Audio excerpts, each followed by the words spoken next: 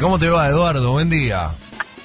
Buen día, ¿cómo estás? Tanto tiempo porque no, no, no nos hablamos. Tantos tiempos, es que cuando hoy por la mañana hicimos el anuncio en la lista de la Sartelli, primero que se sumó gente, o sea, que estaba expectante para, para sumarse a la lista, eh, con lo cual ya vamos cada vez con un nutrido grupo, y segundo que algunos imaginaban que tenían que soportar la abstinencia hasta febrero.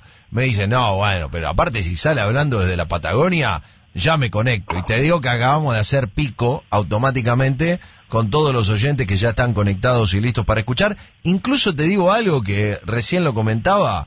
Eh, Pato de Vélez Arfiel está volviendo de Chascomús, ruta 2 kilómetros 69. Ya no se está escuchando en la ruta, así que imagínate lo que es esto. Ni yo lo podía imaginar.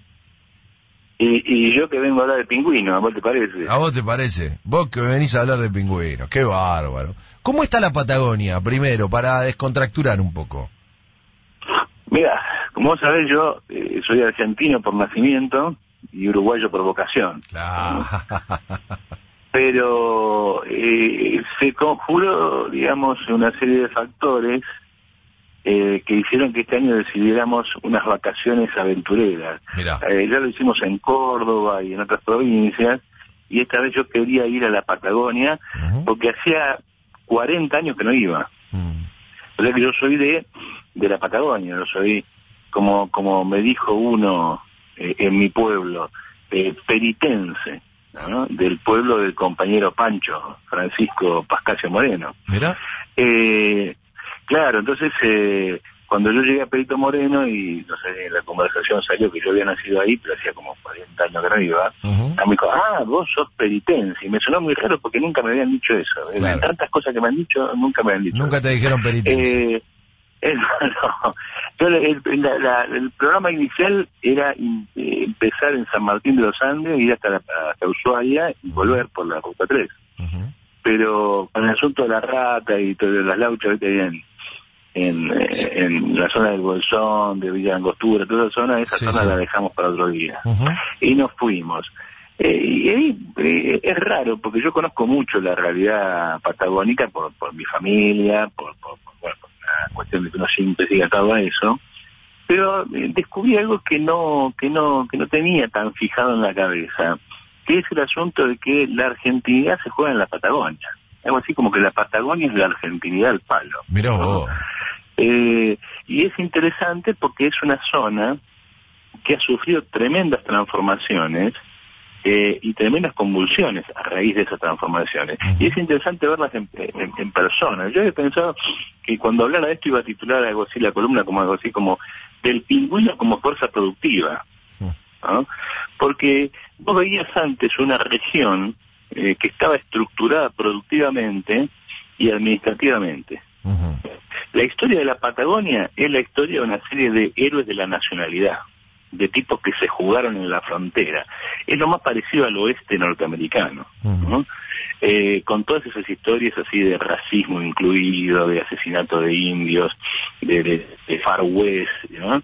Eh, y es interesante cómo está la presencia del Estado Nacional como creación de la voluntad de un conjunto de personas excepcionales. ¿No? Eh, a uno de los museos allí, eh, digamos, recuperé la historia de, de Francisco Pascasio Moreno, el Mm. perito Moreno, que, Sí. que es el nombre del pueblo.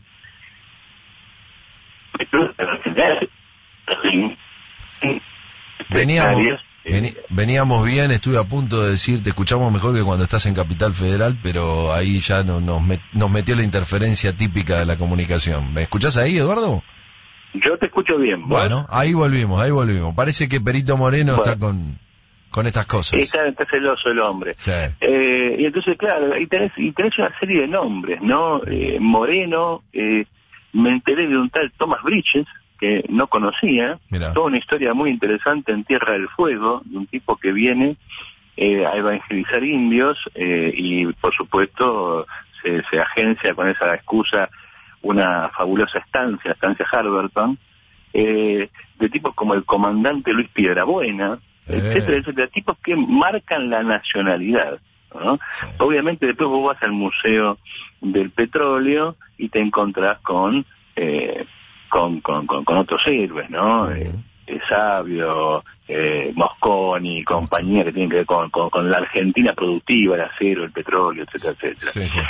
Pero entonces la historia de la Patagonia está armada con esa nacionalidad, con, con, ese espíritu nacional, ¿no? eh, y, te encontrás una, una, una, una, una, región atravesada por una serie de conflictos muy notables y muy a la orden del día. Uno muy claro es el de la mega minería. Eh, y, cuando vos estás ahí y hablas con la gente y, y chusmeás, eh, te das cuenta que hay una distorsión muy profunda del fenómeno eh, a través de los medios de, y, la, del ambiente de la, del centro de la, de, la Argentina. Porque uno imagina que va allá y se encuentra con que todo el mundo quiere prenderle fuego a todas las minas. Vos sabés que eh, eh, es, es una particularidad. Nosotros vivimos con mucha intensidad cosas que tal vez en el lugar, en el epicentro, salvo cuando efectivamente observás una pueblada o una, un movimiento de alguna manera contrario y específico en algún momento. Después hay un día a día que no, no, no se vive en ese proceso de tensión. No, no, claro que no, y, de, hecho hay cosas muy contradictorias. Por ejemplo, es muy interesante llegar al pueblo de Sarmiento, en el centro sur de la provincia de Chubut, donde está en el famoso campo de bosques petrificados, eh, y enterarte que el lago Muster está en problemas y que otro lago, el, el Guapí, desapareció. Y que en realidad la culpa no es de la megaminería, aunque tienen problemas con la megaminería y también, sino con los cultivos agrarios, porque la zona vive de eso.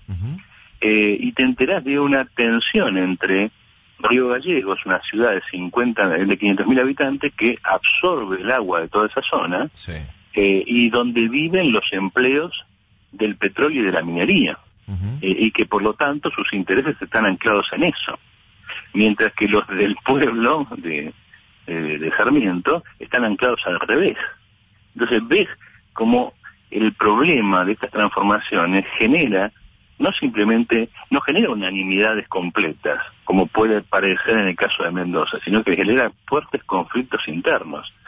Más, más, eh, más extraño fue el caso de Perito Moreno, mi propio pueblo, donde todo el mundo está contento con la mega minería, hay varios emprendimientos dedicados al oro, eh, por una razón sencilla, el pueblo pasó de tener 5.000, 6.000 habitantes a tener 17.000. Eh, y, digamos, vos efectivamente notas para lo que es un pueblo de eso el impacto que eso significa. Por ejemplo, que la municipalidad del pueblo, eh, digamos, se agencia con 4 millones de dólares por, año, lo cual es una bestialidad para, para, para, el lugar. Es decir, eh, te encontrás con una serie de conflictos que son interesantes. ¿Por qué? Porque primero muestra esta distorsión, lo que se ve desde aquí. Todo el mundo está contra la megaminería. no es cierto. Segundo, lo que sí se ve son las contradicciones internas. O sea, algunas regiones les conviene, a otras no, en un contexto de transformación general, porque todo eso se estructuraba en torno al Estado y eh, en torno a las empresas del Estado, IPF, yacimientos carboníferos fiscales, absorbían una mano enorme de trabajo, de fuerza de trabajo. De hecho, digamos, ser IPFiano era toda una, una identidad, mi tío. Mi tío era ¿no? y el tipo de IPF tenía la posibilidad de viajar por todo el país con pasajes gratis, incluso hasta subsidiados, eh, por la propia empresa. Eh, recordemos que cuando, cuando IPF se privatizó tenía 50.000 empleos en todo el país, en particular en la zona de Comodoro, Patagonia, etcétera, etcétera, y también en el norte del país, Salta y esos lugares. Eh, y cuando poco tiempo después, cinco o seis años después, tenía 5.000 empleos y había duplicado su producción. Es decir, las empresas del Estado venían absorbiendo población sobrante mm. y la privatización las libera, es decir, las expulsa. Eh, y curiosamente es ahí donde empieza la ideología y el desarrollo de las llamadas áreas protegidas. Es decir, donde hay un pingüino ponemos algo. ¿Por qué? Porque eso atrae turismo y el turismo de alguna manera eh, parece como un puntal de reemplazo de.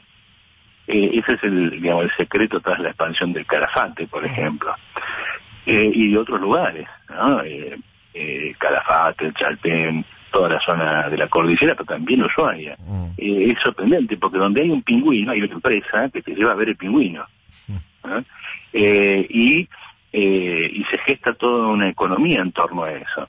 Y eso muestra esta transformación, es decir, de una zona productiva, de lo que uno podría llamar industria pesada, a una zona donde lo que domina es el rebusque a través del turismo. Mm. Y alguna que otra cosa más, con mucha población desocupada y un nivel de vida y una carestía de vida muy elevada. Mucha gente se sorprende, se sorprende, digamos, los sueldos que se suelen escuchar mm. de la Patagonia. Pero el nivel de costo de vida de la Patagonia es altísimo.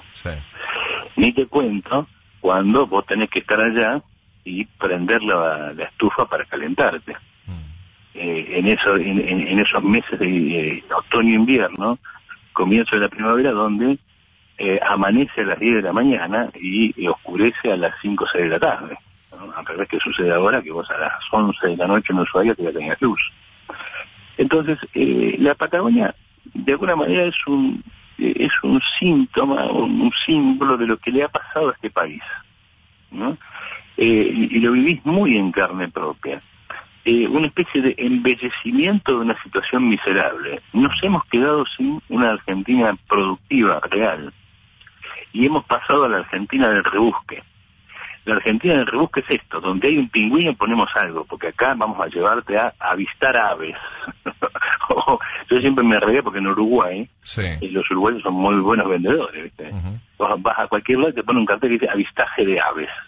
Y vos te paras ahí y ves un pajarito, ¿no? Eh, o sea, construye un universo turístico sobre la base de muy poca cosa. Eh, bueno, la Patagonia es eso. Entonces, eh, creo que hemos saludado a todos los pingüinos de la Patagonia, porque ahora mi hijo es fanático los pingüinos, las orcas y ese tipo de cosas.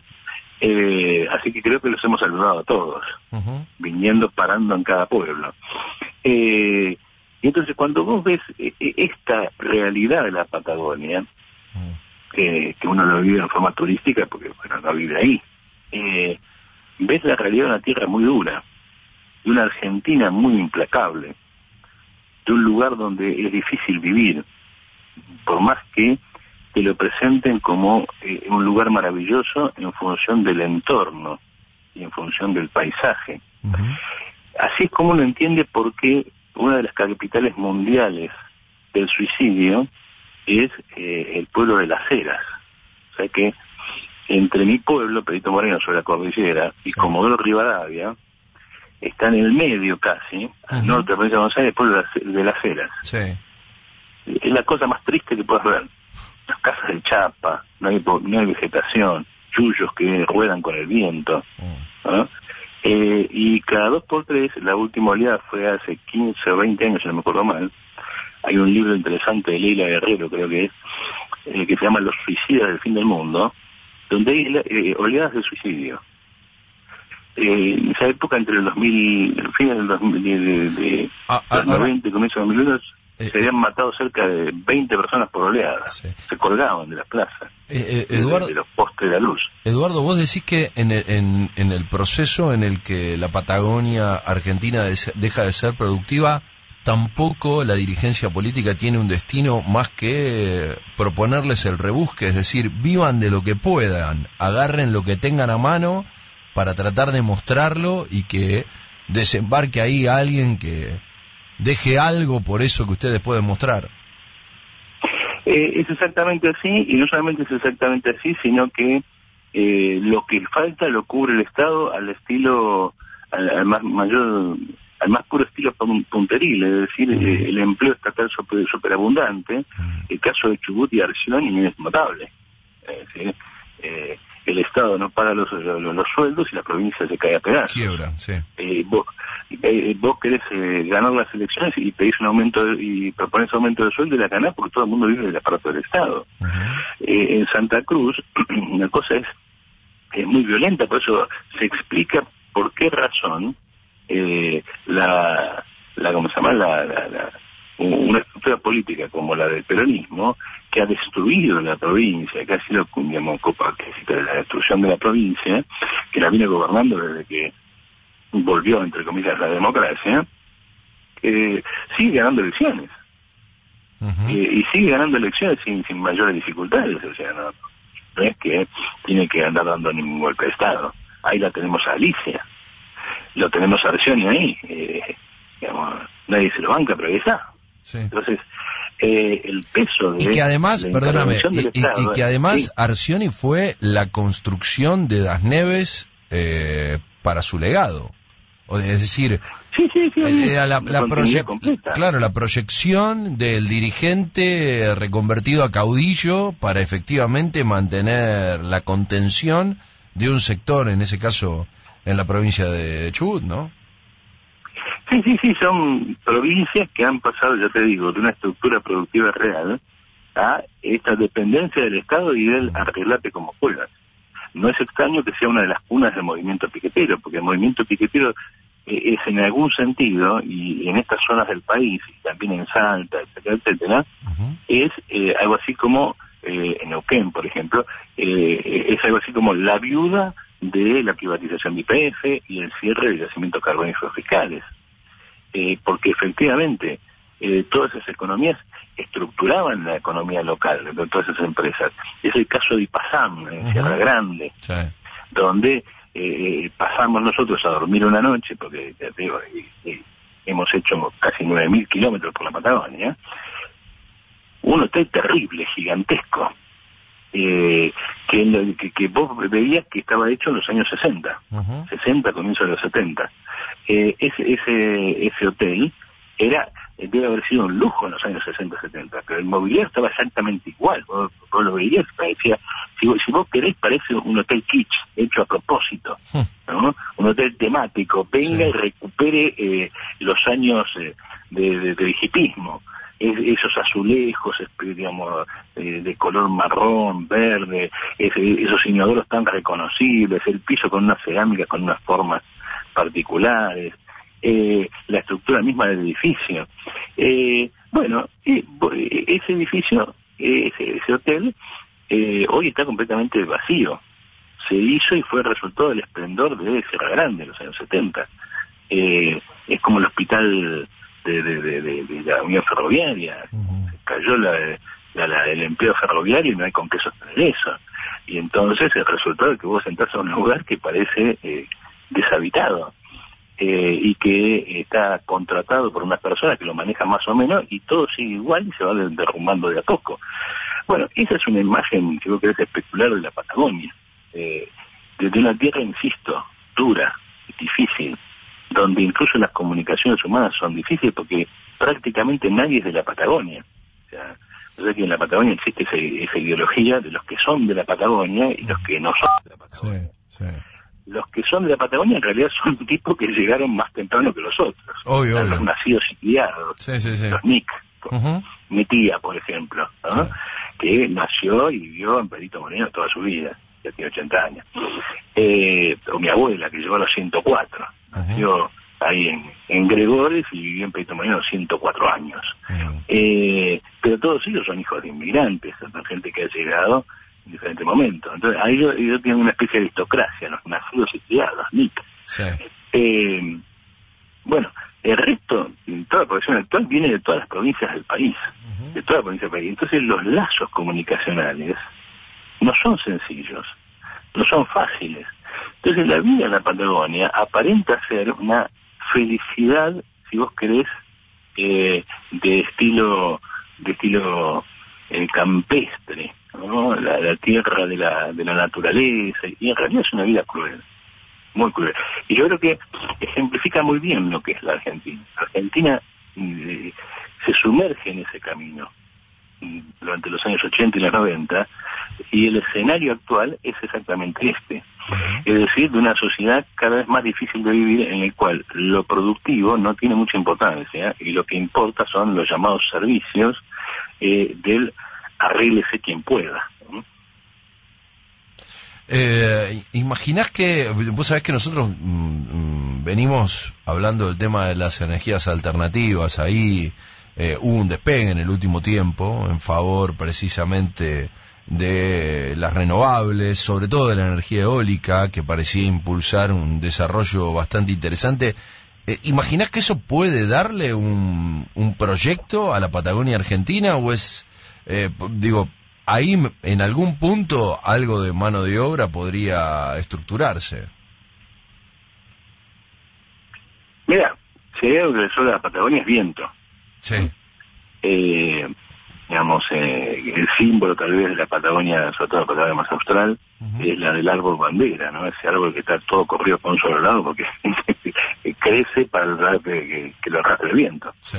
Eh, pero eh, el problema del, del, del, del, de la energía eólica eh, es su costo de producción eh, y eh, no tanto el disponer de, de, de, ¿cómo se llama? de, de materia prima, de viento. Ujú. No se observa tanto eh, bosque eólico como hemos observado en otros lugares. Vos vas a Uruguay y ves mucho más. Sí. Tenés algo en Comodoro, algo en Radatili, eh, ves algo por la, por la cordillera, algo en Ushuaia, pero no se observa demasiado. La pregunta que uno se hace inmediatamente es qué hacer con la Patagonia. Es decir, eh, más allá del turismo. Te veía venir, ¿eh? Sabes, que- sabes que te veía venir desde el inicio, ¿no? Buscándole... Y bueno, pero es que, Destino. es que es interesante porque eh, la Patagonia tiene contradicciones muy fuertes. Vos querés pasar a Ushuaia, eh, y Ushuaia es como una especie de territorio de ultramar de la Argentina. porque tenés que pasar y- y hacer pasar por Chile para ir a tu propio país. Es decir, hay elementos de esa estatidad que no se han completado. Eh, y, y, y, y ves, eh, yo te digo, una situación eh, donde se explica, digamos, muy claramente eh, las revueltas sociales y al mismo tiempo el conservadurismo. Mm. Santa Cruz eh, ha sido cuna en el movimiento piquetero, de hecho, no sé, en su momento, eh, el primer gran batacazo de la izquierda argentina en los años de la democracia Ujú. lo dio el Partido Obrero con Claudio Plali, hace muchos años, Sí. ¿no? Eh, sacando una muy buena elección. Pero el, el- el- el punto es, eh, el punto es que en una región donde vive muy poca gente, vos pensás que en toda Santa Cruz no, no se llega a mucho más que 200.000 personas, y, y eso significa que toda la provincia de Santa Cruz es eh, la sexta parte de la matanza. Eh, entonces la pregunta es qué haces con una provincia así o con, con un conjunto de provincias así. Hay algunos emprendimientos, pero yo te digo, eh, muy limitados. ¿no? Eh, eh, explota un, un volcán en Chile, se llena media Patagonia de ceniza Sí. y el pueblo de los antiguos empieza a producir, eh, todos los antiguos quedan a 60 kilómetros de mi pueblo, Sí, sí. Moreno, eh, empieza a producir cerezas de una calidad excepcional. Claro, vos llegás ahí y querés comer cereza porque son, nunca vi, digamos, son como manzanas eh, gigantescas, nunca vi una cosa tan rica y tan buena. Pero con eso no sostenés una economía. Sí, sí, te entiendo. Eh, y, y vos pensás que el crecimiento de los fiscales eh, se cerró porque la economía del carbón es inviable. Eh, y IPF no, no, por más que produzca mucho más, eh, y por más que en algunos lugares, como en Vaca Muerta, que eh, pueda dar lugar a un desarrollo, eso no ocupa mucha población, esa es la verdad, no te sostiene una economía te puede dar una serie de ingresos importantes, pero en cuanto a magnitud de, población incorporada es muy, muy endeble. De alguna manera, insisto, eh, la Patagonia es una especie de espejo de la Argentina en su conjunto. Este mismo conjunto de preguntas te puede hacer en otros lugares con, digamos, eh, donde la situación sería mucho menos visible, ¿no? Mucho menos visible porque hay otros elementos que juegan. Que vos vas a la región pampeana, tenés una economía mucho más diversa que, que el resto. Pero la misma pregunta por la Patagonia tal vez te podrías hacer por el nordeste y por el no- noroeste. Eh, es decir, buena parte de la Argentina, en sentido estricto, no se puede sostener. Y la pregunta es, ¿cómo se sostiene este país? Y volvemos incluso a, a- al- a las primeras columnas que hicimos acá hace varios años, es decir, eh, a, a la pregunta inicial, digo, ¿hacia dónde va la Argentina? ¿Y cómo puede sostenerse un país de esta manera? Eh, e- e- este viaje que yo hice por, por razones personales, de vacaciones, Sí, sí, etcétera, me, me llevó a pensar esto todo el tiempo. Eh, ¿Qué hacemos con esto? ¿Qué se puede hacer? ¿Cómo podemos darle a esto una vida real? Eh, una vida que no sea arreglate como puedas, una vida tan dura y tan difícil. Eh, esa es una pregunta que eh, es muy importante ahora, porque eh, una de las cosas que va quedando claro sobre la mesa es que eh, si alguien estaba en contra del macrismo, si alguien creía que Macri era lo peor que nos podía pasar, me parece que va quedando claro que eh, el albertismo no es más que macrismo con lenguaje inclusivo. No es otra cosa. Eh, un conjunto de ejemplos simbólicos para tratar de ocultar lo que es un ajuste brutal. Si alguien tenía esperanzas en Kichilov y que, que Fernández, eh, Cristina, la mujer más inteligente de la historia argentina, según el compañero Durán Barba, eh, representaban una alternativa a esto y la provincia de Buenos Aires iba a ser una especie de oasis dentro de un esquema, digamos, eh, eh, de oposición interna anticiolista, ¿no? Como se imaginaba, ¿no? La verdad que en aquellas épocas ah, se imaginaba a Scioli como sucesor de Néstor y de Cristina y que el kirchnerismo iba a pasar a cuarteles de invierno kirchnerismo puro, eh, en una oposición de izquierda ante su propio gobierno. Bueno, entre Scioli y, Fernández, Alberto, no hay mucho mucha diferencia en términos ideológicos y políticos, salvo que Fernández evidentemente es mucho más astuto, eh, y no vemos al kirchnerismo en una oposición interna, vemos a el propio Axel reproduciendo las políticas que se supone que él cuestionaba cuando eh, hablaba de Macri. De modo que eh, si estamos mal, lo que único que uno puede imaginarse ahora es que vamos a seguir así. Eh, y que esto no va a mejorar más que coyunturalmente, en un contexto en el cual el, el auge de las materias primas terminó, eh, y nos enfrentamos a un mundo en el cual el impulso gigantesco que la aparición de China en el mercado le produjo a las materias primas eh, se diluyó.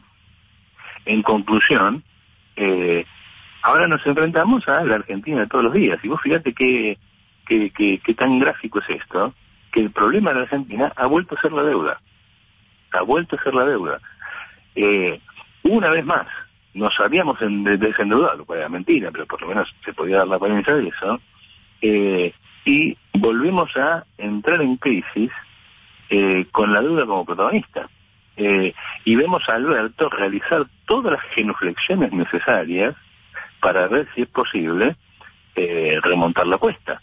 No se entiende el viaje de, de, de Alberto en a, Israel y el abrazo con Netanyahu, eh, si no es en este contexto. Ahora que, que, vengan los kirchneristas a decirme que son distintos de Macri. A todo esto, todo este escenario del cual esta, esta anécdota patagónica sirve nada más que motivo de reflexión, nos pone sobre la mesa la misma cuestión. ¿Hay alguna formación política burguesa capaz de sacar este país adelante? Esa es la pregunta que hay que hacerse porque los argentinos votaron hace poco contra lo que suponían era el mal menor, eh, perdón, el mal mayor, o sea, contra Macri, eh, en defensa de lo que suponían que era el mal menor, es decir, el kirchnerismo. Eh, bueno, es necesario repetirlo una vez más, que son lo mismo. Es necesario repetirlo una vez más.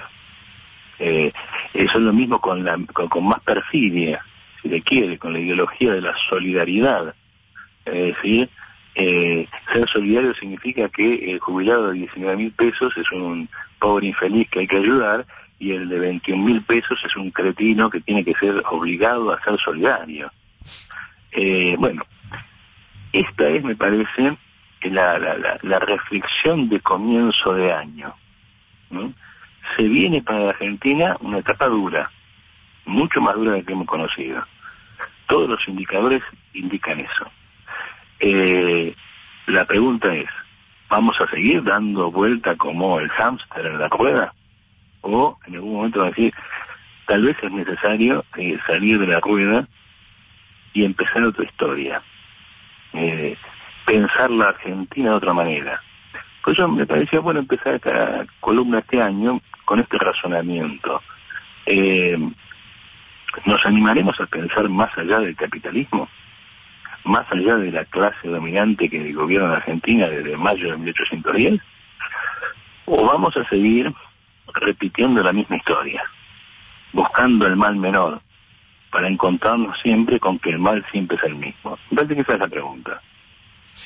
Yo les dejo una cortita. ¿Qué hacemos con la Argentina? Que para mí encierra un poco esto que vos planteás, ¿no? Eh, si hay algún proyecto que englobe ese espacio, el de una Patagonia de grandes extensiones, eh, a la que casi se expone a un sector de la población a sostener la, la, población ahí mínimamente para que para no regalar el espacio pensar que algunos deben estar tan desesperados por tener espacio para implementar algunas cosas a veces nosotros no sabemos qué hacer ni siquiera con esa extensión de tierra pero bueno eh, eh, entraré te agregaría una, una, una, te agregaría una cosita sí. que, que no, lo podemos discutir en otro momento sí. se ha hablado mucho del episodio de los rangers y todo entre este asunto uh -huh. de este tiempo no eh, ojo, que hay una fracción de la burguesía argentina que tiene otro proyecto.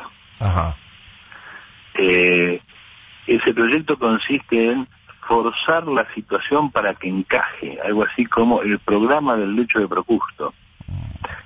La continuidad de la burguesía como clase dominante presupone el sacrificio de buena parte de la Argentina. Siempre lo hablamos eso, en Argentina sobran varios millones de habitantes. Para eso hay que producir una masacre social. Ojo, porque hay una fracción Bolsonaro de la burguesía argentina. No creamos que porque Spert o Centurión sacaron el 1,5, eso está muerto. Y el episodio de los Rugbyers es un ejemplo de cómo se arma una banda fascista. ¿Eh? ¿Cómo se arma una banda fascista? Para entender esto, yo lo dejo tirado allí para que en algún momento de lo que tomemos. Recomiendo a los oyentes leer la novela de David Viñas en la semana es sobre la Semana Trágica y muestra allí cómo se organiza una banda fascista de la Liga Patriótica. Eh, va a ayudar a entender ciertos problemas. Y les recomiendo a, eh, a los oyentes revisitar las películas clásicas de Costa Gabras, en particular Traicionados sobre el fascismo agrario en Estados Unidos. ¿no? Uh -huh. eh, que me parece que era con Tom Berenger y Debra Winger, me parece. Eh, eh, esa película, ¿no? esa película se puede sumar a otra de Costa Gabras que ha tenido este tema, tema recurrente. Eh, pero yo no dejaría de ver también el huevo de la serpiente, porque ojo, cuando la realidad se descompone, siempre hay alguien que reacciona. Y la realidad social es como la naturaleza, aborrece del vacío, es decir, si nosotros no damos una solución, alguien la va a dar. ¿Se entiende? Sí. Eduardo, te mando un abrazo, buen final de vacaciones, nos reencontraremos a, a, a mi regreso también, porque ahora me toca a mí una escapadita. Ah, bueno, ¿Eh? es perfecto. Eh, si te, si, te saqué las ganas de la Patagonia, no te amilanes. No, no, no, yo te, eh, no, te digo igual que no, no, me las, no me la saca nadie, a mí me gusta esa recorrida, ya la he hecho hace muchos años, me imagino que estaba por ahí más raleada de lo que está hoy, porque de ahí, desde que yo fui hasta ahora, han aparecido muchos pingüinos para hacer espacios turísticos, entonces voy, voy a hilvanar un montón un montón de perros. Hay que matar algunos mitos, ¿no? Hay que matar algunos mitos. O sea, el mito de las grutas, no, no, sé a quién se le ocurrió que esa era una playa maravillosa. El mito de las grutas, digamos, hay que matarlo. Y el del Chaltén ni te cuento. El del Chaltén, salvo que te guste hacer alterismo, el Chaltén no hay mucho para hacer. Así que te esperaremos acá. Yo ya ¿Sabes, ¿sabes, ¿sabes, cuál es, ¿Sabes cuál es la propuesta para cambiar ese, ese mundo de pingüinos? Sí. Eh, es el mundo de cervecerías artesanales. No, esa es otra, sí. Ahora, en la Patagonia hay una que es muy buena, en, en Ushuaia. Sí, ¿cuál? Pero sí, no, no, también, escúchame, eh, tenés, eh, además de los pingüinos, yo te digo, la columna podría haberse llamado de los pingüinos como fuerza productiva. Ah, claro. Pero tenés los pingüinos, tenés los duendes. Claro, pero la cerveza... los duendes vos vas a Calafate sí. y te encontrás con el paseo de los duendes que fue inaugurado por Cristina. Mamá querida.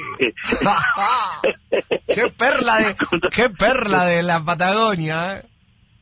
sí, sí, sí, vas a Calafate y te encontrás con la con la con, la, el paseo de los duendes, ¿no?